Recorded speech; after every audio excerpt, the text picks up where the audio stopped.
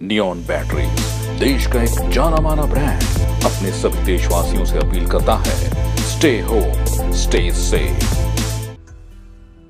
Uttarakhand में बड़ी संख्या में प्रवासी लोगों के आने का सिलसिला शुरू हो गया है।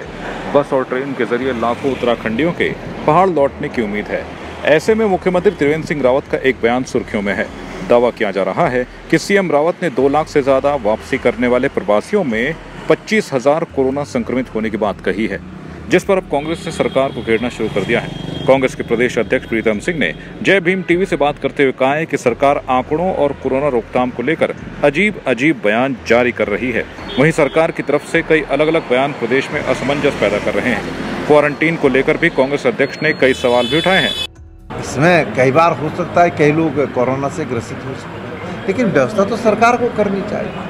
क्वारंटीन की व्यवस्था सरकार को पहले तो जो बेस जहाँ पर लोग आ रहे हैं, उस बेस पर करनी चाहिए। अगर वहाँ ओवरफ्लो हो जाए तो डिस्ट्रिक्ट हेडक्वार्टर पर करनी चाहिए। डिस्ट्रिक्ट हेडक्वार्टर अगर ओवरफ्लो हो जाए तो तहसील स्तर पर करनी चाहिए। तहसील स्तर अगर ओवरफ्लो हो जाए तो ब्लॉक स्तर पर करनी चाहिए।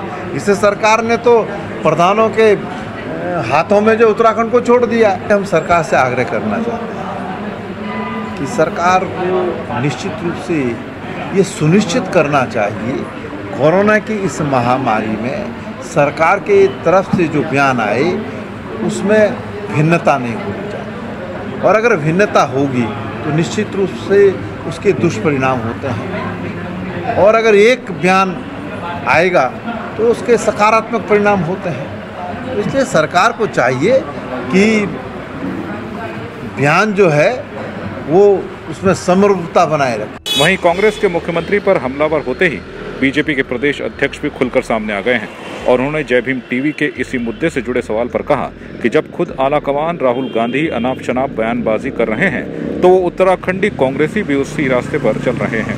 ये पार्टी के हताश नेता हैं, जो एक रुपया भी कोरोना राहत के लिए नहीं दे पाए। और अनाप शनाप बयानबाजी में तो कांग्रेस के केंद्रीय नेता तो सबसे आगे अभी हाल ही में राहुल गांधी ने कह दिया कि रेड जोन ग्रीन जोन है और ग्रीन जोन रेड जोन है तो उस पार्टी के जो कार्यकर्ता नीचे प्रदेश के हैं या उनके पदाधिकारी हैं, उनसे हम क्या उम्मीद करेंगे? हालाँकि प्रदेश में भी चुनाव दूर है, लेकिन जिस तरह से विपक्ष में बैठी कांग्रेस अब सीधे मुख्यमंत्री के हालिया फैसलों और कोरोना राहत पर लगातार जुबानी हमले कर रही है, उसे लगता है कि मुद्दा लंबे समय तक भुनाया जाएगा. जय भीम टीवी के लिए आशीष तिवारी की रिपोर्ट.